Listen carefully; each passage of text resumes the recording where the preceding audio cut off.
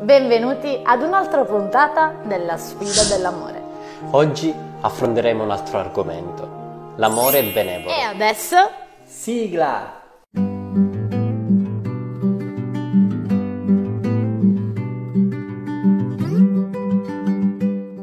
la benevolenza è amore in azione. Se la pazienza è il modo in cui l'amore reagisce per difendersi dalle circostanze negative, la benevolenza è il modo in cui l'amore agisce per aumentare le circostanze positive.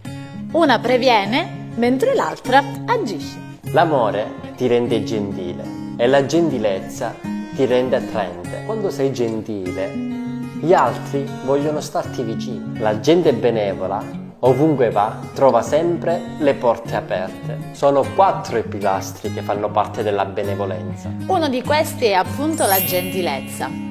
Quando utilizzi la gentilezza fai molta cura per come tratti l'altra persona e soprattutto cerchi di non mostrarti inutilmente aspro anche quando senti di doverlo fare. La gentilezza ti permette di essere tenero e sensibile. Farai il possibile per rendere leggero il rimprovero a chi ascolta. Dirai la verità con amore. Noi già l'abbiamo sperimentato tutto ciò ed è stato un successo. Il secondo punto è la disponibilità. Essere benevoli significa andare incontro ai bisogni del momento. Dona alla moglie l'abilità di servire al marito senza preoccuparsi dei propri diritti e al marito la curiosità di scoprire i bisogni della moglie. Lo motiva a essere lui a farsi avanti per primo, anche se momentaneamente deve trascurare i propri bisogni.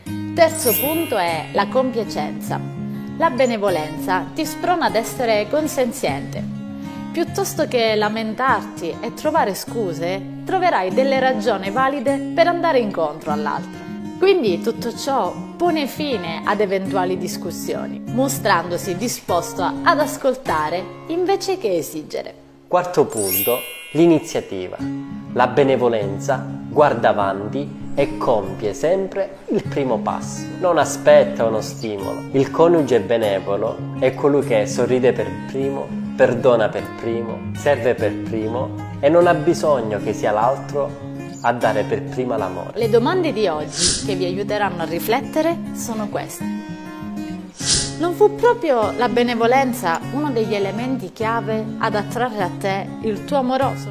Non ti aspettavi di godere di tutto ciò per il resto della tua vita? E l'altra persona non si aspettava lo stesso? Anche se gli anni possono diminuire il desiderio, la tua felicità coniugale è ancora legata alla benevolenza. Quindi puoi ricostruire tutto con questi quattro pilastri. Come verresti descritto dalla tua amorosa secondo il metro della bontà? Quanto sei duro e quando gentile e disponibile? Aspetti che ti si chiedano le cose o prendi tu l'iniziativa?